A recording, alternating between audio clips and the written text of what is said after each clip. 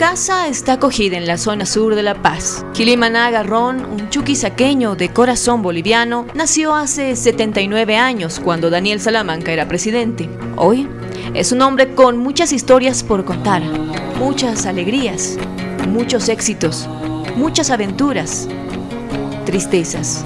Gilimaná eh, ha sido siempre así apasionado con su vida, con su arte. Siempre, siempre. A nada me doy a medias, siempre me doy íntegro. Y el amor ha sido y es fundamental en mi vida. El amor al arte, el amor a la pareja, el amor que he tenido con, con Inés.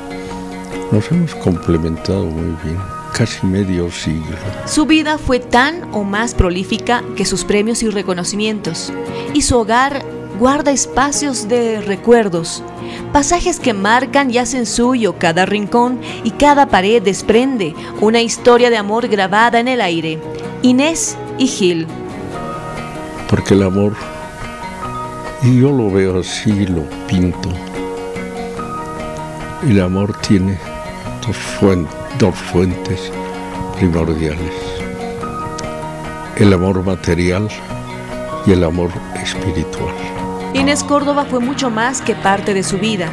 En el día a día, esta polifacética artista dio un sí a Gil en abril de 1964 y durante 46 años le acompañó como amiga, cómplice, colega el 2010 sufrió un paro cardiorrespiratorio, así como se dio la pérdida de la compañera de su vida, y Maná también sufrió un accidente que le lesionó la retina. Y ahora, más que nunca, sus palabras son certeras.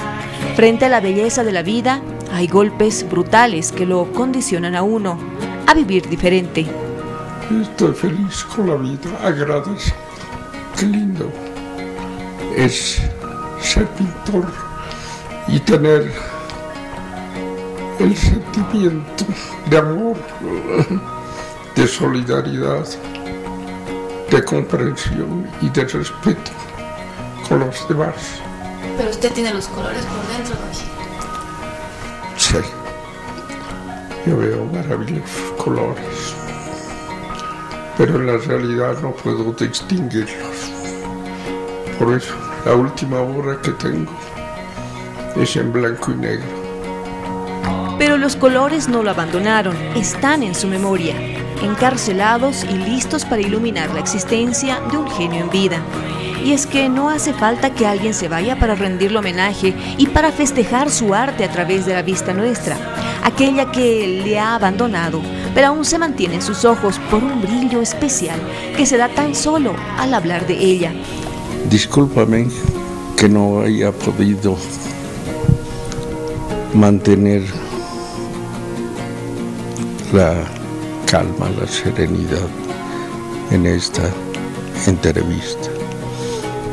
Pero yo soy sincero en todo lo que hablo, en todo lo que hago y en todo lo que pinto.